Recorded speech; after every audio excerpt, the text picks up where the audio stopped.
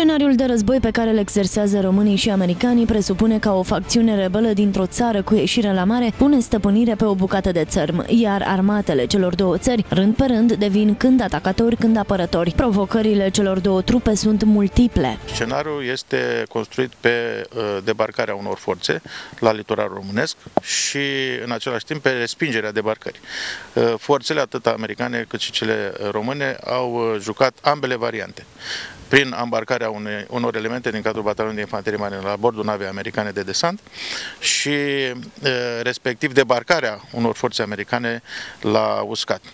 Cele două faze ale exercițiului, respectiv debarcare și respingerea debarcării, s-au jucat pe rând de către ambele forțe.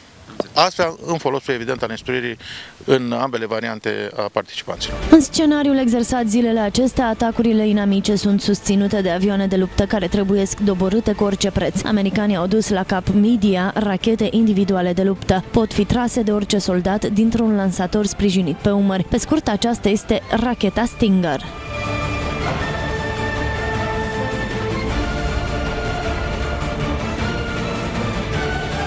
După ce armele grele anihilează orice amenințare, intră în joc trupele terestre. Soldații iau în stăpânire localitățile mici sau mari din zona ocupată și instituie controle de rutină pentru depistarea forțelor rebele. Asta exersează detașamentul de femei din armata română, instruite zilele acestea în proceduri specifice de aliatele lor americane. Prima lecție, folosirea armelor celorlalți. La antrenamentul român-american participă zilele acestea 1250 de militari.